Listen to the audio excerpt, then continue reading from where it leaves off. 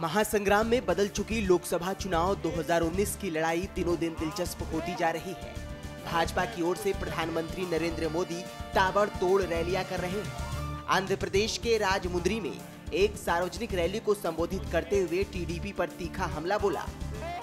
इसके साथ ही पीएम ने ये भी कहा कि देश को आगे ले जाने के लिए मुझे आप सभी लोगों का आशीर्वाद चाहिए। टीडीपी ने अब एक नया काम शुरू कर दिया है। ये काम है, साइबर क्राइम से जुड़ी हुई बातें हैं।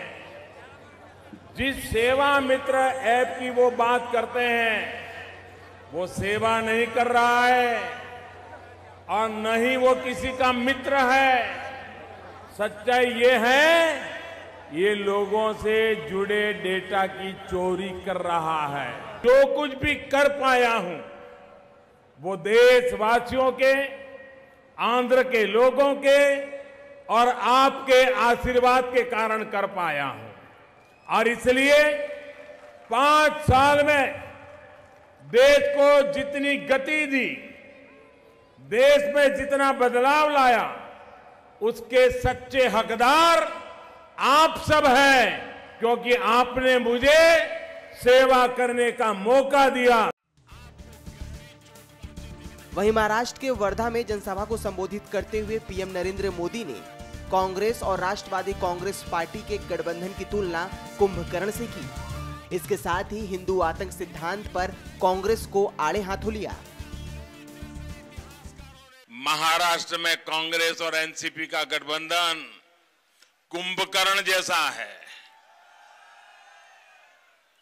जब वो सत्ता में होते हैं तो छह छह महीने के लिए सोते हैं। छह महीने में कोई एक उठता है और जनता का पैसा खाकर फिर सोने चला जाता है। इस देश के करोड़ों लोगों पर हिंदू आतंकवाद का दाग लगाने का प्रयास कांग्रेस ने ही किया है। आप मुझे बताइए जब आपने हिंदू आतंकवाद शब्द सुना, आपको गहरी चोट पहुँची थी कि नहीं पहुँची थी?